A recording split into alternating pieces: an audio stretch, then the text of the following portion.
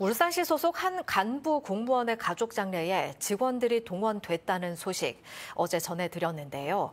울산시는 모두를 위한 혜택이라고 밝혔지만 정작 이런 규정들이 있었는지 몰랐다는 직원들이 많았습니다.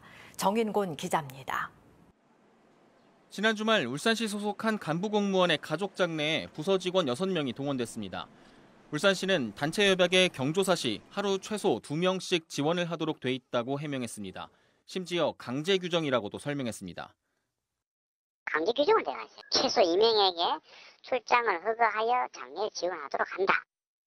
그런데 올해 장례 지원을 목적으로 출장을 나간 울산시 공무원은 57명에 불과했습니다. 3일장 가운데 이틀 정도 조문을 받는다고 볼 때 실제 이 규정의 혜택을 받은 인원은 10여 명에 불과하다는 계산이 나옵니다.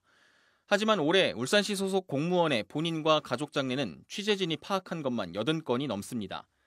실제 울산시 공무원들에게 물었더니 조기를 설치하는 정도의 지원은 하지만 직원이 출장을 나가 돕는 것은 본 적이 없고 이런 내용의 단체 협약이 있는 것도 몰랐다는 직원들도 있었습니다.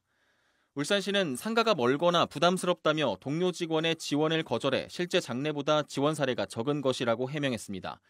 정작 직원들은 잘 모르고 실제 혜택을 받는 사례도 드문 낡은 규정이 일부 공무원의 전유물이 되고 있는 것은 아닌지 우려스럽습니다.